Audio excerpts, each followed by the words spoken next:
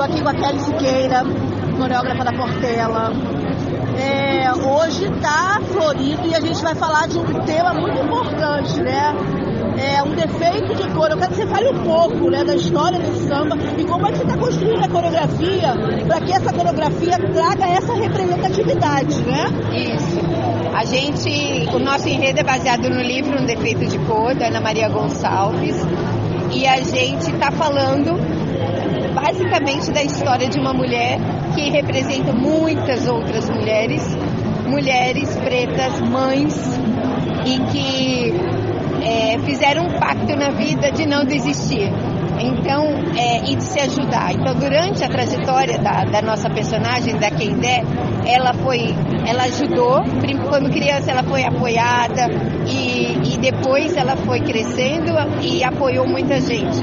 Então, um recado que a gente da comissão está trazendo, principalmente hoje, né, né, que vai ser diferente do, do dia, é essa união entre as mulheres para que juntas a gente possa realmente se apoiar, é, apoiar nossos sonhos e lutar junto contra tudo que apareça é, contra a gente. E como é que é? Porque assim, a gente sabe que tem muitas é, exposições sobre o livro, né? Já teve aqui no Rio de Janeiro. O próprio livro é um elemento de pesquisa muito forte.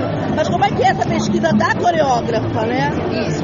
A gente lê e relê o livro várias vezes, todas as entrevistas da Ana Maria Gonçalves. A gente foi algumas vezes na exposição, nas mesas redondas que estão acontecendo, e em outras, em outras é, exposições que têm a ver com o livro. É, eu fiz uma viagem para fora do país, visitando museus africanos de outros lugares, para entender da onde que veio.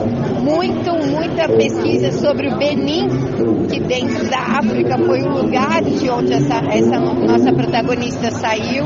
Então, é, as particularidades do Benin e o, que, e o que a gente tem a ver com a Portela, né? Então, a, a Portela também é, é uma escola, uma escola que veio, tem muitas mulheres fortes, mulheres pretas fortes, que fazem a Portela, que comandam a Portela. Então, a gente sempre fazendo essa ligação entre a história, pesquisando e a nossa escola. Quantos componentes da comissão?